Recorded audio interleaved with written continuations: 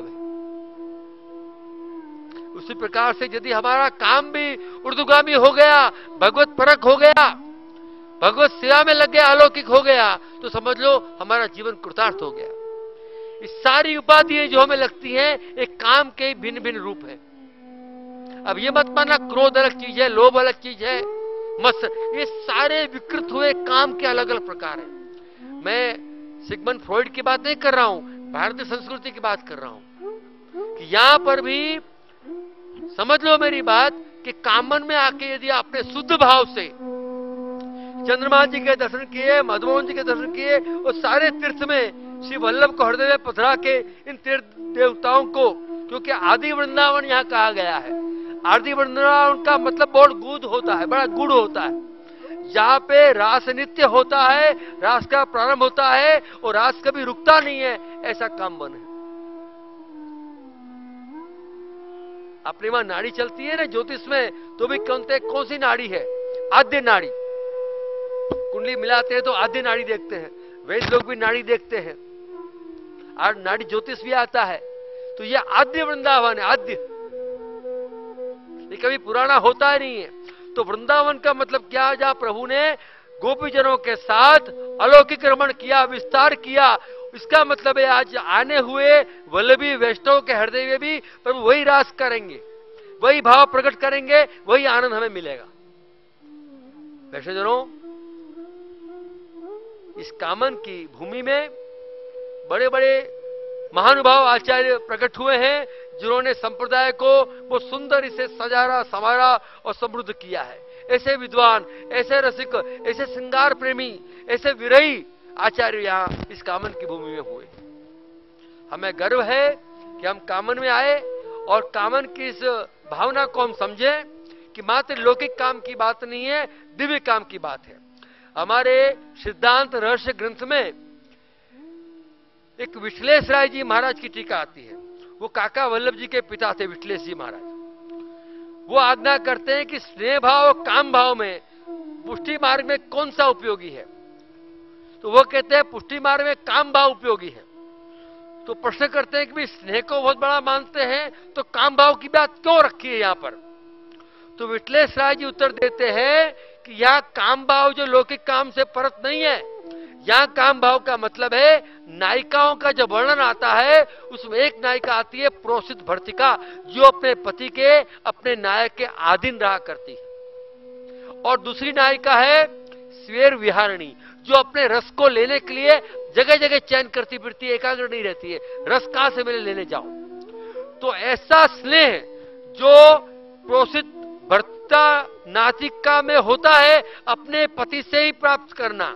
और शेर विहारणी में होता है कि अलग अलग भिन्न भिन्न रस प्राप्त करना। वो सारी दोनों बातें एक अपने स्वामी में ही लगे, वो पुष्टि मार्ग काम होता है। देखिए बड़ी ऊँची बात है। माने अलग अलग रस लेने की वृत्ति भी मेरे ठाकुर जी में ही। और मेरे ठाकुर जी ही मेरा पोषण करेंगे, मुझे दान देंगे, ऐसी वृत्ति भी ठाकुर जी में। दो अलग अलग होते हैं, वो नहीं। पोषण भर्ती का अलग है, शेर विहारण अलग है, या एकीकरण हो गया है। मेरे ठाकुर जी में जितने भी रस मुझे प्राप्त करने हैं, मेरे नंद नंदन मुझे देंगे। और जो भी प्राप्त करना है, मेरे गोपीजन वल्लभी मुझे देंगे। वो वो पुष्टि मार्गी काम भाव होता है। या विकृति नहीं होती है, या मात्र स्नेह होता है। हमारे नागरदास बामणिया का एक लेख मैंने पढ़ा, उसमें कहते हैं, किसी ने पूछा उनसे, अहमदाबाद वाले, कि भाई स्नेह में, काम में फ़र्क क्या है? तो वह कहते हैं, स्नेह माने तत्सुख का विचार और काम माने ससुख का विचार। मात्र आप सेवा करो, दान करो, धर्म करो, कुछ भी करो, यदि मुझे सुख हो, मैं अच्छा रहूँ, मैं सुखी रहूँ, अपना अपना मात्र विचार किया तो काम ही है। और भगवत सुख का विचार किया, दान, धर्म, तीर्थ जो भी करता हूँ, श्री गोपीजन वल्लभ तीर्थ करता हूँ, मेरे प्रभु के सुख के लिए करता हूँ। हमारे पंडित, हमारे पुरोहित, हमारे वैष्णव जब भी संकल्प करते हैं तो अंत में बोलते हैं कि गोपीजन वल्लभ प्रीतर्थम जो नहीं कहते हैं, मेरे लिए। नहीं तो बोलना पड़ता है, न ममा। मेरे लिए नहीं है, देव के लिए। हमारे वहाँ देव का भी उल्लेख हम नहीं करते हैं। हम वैष्णव ध्यान रखना, कहीं भी संकल्प हम करें। तो हमारे जानकार पुरोहित हमें गोपीजन वल्लभ तीर्थ करवाते हैं। स्वास्थ्य स्वास्थ्य के लिए, कुटुंब की शांति के लिए, ग्रहों की शांति के लिए करना, वो तो एक साधारण सी बात हो गई। लेकिन हमारे पुष्टि मार्ग के वैष्णव और हमारे वल्लभ कुल के आचार्य और हमारे परंपरागत जो पुरोहित हैं, समझदार, जानकार और परिपरा में शिष्ट आचार रखने वाले, वो हमेशा जो संकल्प कराते हैं तो अंत में बोलते हैं, श्री गोपीजन वल्लभ प्रीत्यर्थम। यह आप वैष्णव ध्यान रखना। क्यों? कि गोपीजन वल्लभ में प्रीति पड़े, यही हमारा धर्म कर्म है। धर्म कर्म करने के बाद अभी गोपीजन वल्लभ में प्रीति नहीं बढ़ी, वो खाली पुण्य हो तो इकट्ठा हो गया तो पुण्य भोगने के लिए भूतल पे आना पड़ेगा। सेवा छोड़ के तो पुण्य भी बेड़ी बन जाते हैं और पाप भी बेड़ी बन जाते हैं। इसलिए ब्रह्म संबंध में लोक, परलोक दोनों को समर्पित कर दिया। क्योंकि जो पुण्य इकट्ठा हुआ तो फिर भोगने के लिए आओ। है ना? तो भगवत सेवा। है तो वैष्णवजनों, यहाँ पर अलौकिक काम है। तो हमारे में रहे हुए जो विषय वास्ता ग्रस्त जो लौकिक काम है, वो वृक्ष की रज से, वृक्ष की आबोहवा से, वृक्ष के वातावरण से, आचार्यों की वाणी से, वैष्णवों के संग से, तपने से, बरसने से, चलने से, ठंडी, गर्मी, बरसात, सारी बातों को हम यहाँ सहन नहीं कर रहे हैं, समझ लो। आज ही मैंने कहा, लोग मानते हैं कि गर्मी सहन नहीं होती है। सहन यहाँ सहन करने का है ही नहीं किसी को। यहाँ तो पचाने का है। सहन तो वर्त करता है जिसकी देह बुद्धि हो गई हो। हमारी देह बुद्धि है ही नहीं अभी। हम तो भगवत बुद्धि से चल रहे हैं। सहन कौन करेगा जिसको देह बुद्धि हो? हम तो पचा रहे जैसे वृक्ष, गर्मी, सहन करते हैं तो क्या होता है? सहन करके दृढ़ बन जाते हैं, परिपक्व बन जाते हैं और आंधी तूफ़ान में भी हिलते नहीं है। ये गर्मी का प्रताप है।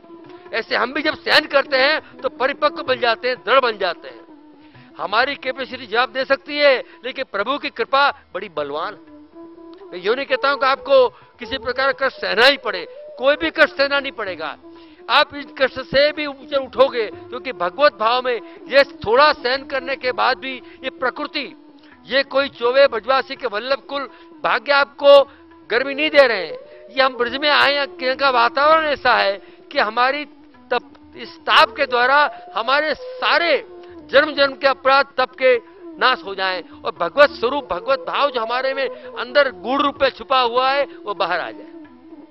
तो थोड़ा सहन करना है, लेकिन ये पचाने का है। सहन करना कब होता है? जब सहन करना पड़ता है। ये तो पचाना है हमको। ये सबको लगती है, हमको, आपको सबको लगती है। तो हम नहीं चाहते कि वैष्णव को जरा भी कष्ट हो। लेकिन कुछ हमारे नंद नंदियों के नंद के फंद गोविंद ही जाने। हम जानते हैं कि हमारे नंदलाल क्या क्या चाहते हैं। बचपन से लेके आज तक लेसन नहीं किया। माँ का कहना नहीं माना, पिता का कहना नहीं माना, किसी की पतंग चुरा ली, किसी की पेन चुरा ली होमवर्क नहीं किया। माँ से झूठ बोले, कई प्रकार के हमने अपराध किए बचपन में, सारे यहाँ धुल जाते। होश आने की बात तो मैं गिनता ही नहीं हूँ। होश आने के बाद जो अपराध किए, वो तो पाप की गिनती में आते हैं। लेकिन बचपन में जो हो गए, वो उसकी बात कर रहा हूँ, अनजाने में। वो भी धुल जाते हैं। तो हमारी हार्दिक शुभकामना आपके संग है ये मधुर, रसमय, वल्लभ, हमारे नाम क्यों दिया हमने? वल्लभी यात्रा क्यों कहा? क्योंकि वैष्णव संप्रदाय तो चार हैं और अनेक भी हैं। हम लोग खाली वैष्णव नहीं, विष्णु के उपासक या विष्णु स्वामी के उपासक सब वैष्णव के नहीं जाते हैं, लेकिन हम वल्लभीय वैष्णव हैं, इसलिए वल्लभी यात्रा रखी है। समझे कि नहीं आप? वल्लभी यात्रा परिक्रमा का रहस्य क्या है? कि हम कोरे वैष्णव नहीं है, वल्लभ को समर्पित वैष्णव है। तो हम वैष्णवों की ये व्रत यात्रा इतनी आनंद से हो रही है, और इतने आनंद से होगी कि ठाकुर जी स्वयं कहें क्यों? कि देखो, और यात्रा कहते हैं पद यात्रा लोग अलग जगह माता जी पे, वो गाँव में कई जगह ध्वजा लेके जाते हैं, क्या कहते हैं? पद यात्रा हमारी पद यात्रा नहीं है, व्रज यात्रा है। क्यों? कि व्रज हमारे संग, व्रज का मतलब है गमन करना। व्रज का मतलब है चलना। तो व्रज हमारे संग खुद चल रहा है, हम नहीं चल रहे। समझ लो? ये पद यात्रा नहीं है व्रज यात्रा है। व्रज खुद, व्रज का खुद का अर्थ होता है गमन करना, गति करना, चलना। तो हम नहीं चल रहे, व्रज हमारे संग चल रहा है। समझो आप? आप व्रज को यहाँ से यहाँ तक लिया है तो ये सच, हमारे साथ चलने वाला वृज हमें जीवन में कभी भी छोड़े रहेगा नहीं। वो स्टार्ट हो चुका है और जीवन भर हमारे साथ रहेगा। इतना कह के मैं यहाँ विराम लेता हूँ। वल्लभा तो यहाँ पर इस कलयुग में पाषण धर्म का प्रचार हो रहा है। एक कहावत है कि रोटी खाई चक्कर सो और दुनिया ठगी मक्कर सो। रोटी शक्कर के साथ खाई जाती है और दुनिया जो मक्कार लोग होते हैं, उनके द्वारा चलती है। लेकिन ये किसी एक वर्ग की मान्यता हो सकती है, ये वैष्णव का स्वभाव नहीं हो सकता। बुला मिश्र ने ज्ञान થઈ ગયું कृष्ण कृष्ण કૃષ્ણ કૃષ્ણ તો पर काल કાલ थी આચાચરણ कृष्ण एवं ગતિર્વવાની आज्ञा करे परम भगवती श्री महाप्रभु जी के अनन्य सेवक श्री बुला मिश्र जी को यह ज्ञान हो चुका कि कृष्ण काल के भी काल है। भगवान गीता में आज्ञा करते हैं, कालोस्मी काल का भी स्वरूप, मेला स्वरूप है। बहुत वर्ष पहले किसी वैष्णव के पत्र मुझे मिले। दो वैष्णवों के बीच में पत्र लाप हो रहा था।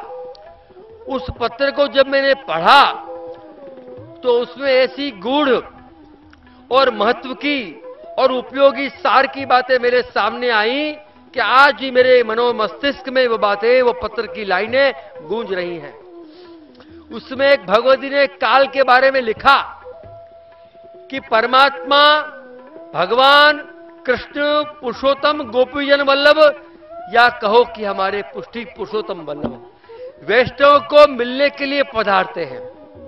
हर भगवती को हर पुष्टि जीव को मिलने के लिए पधारते हैं। वो चंचल हैं।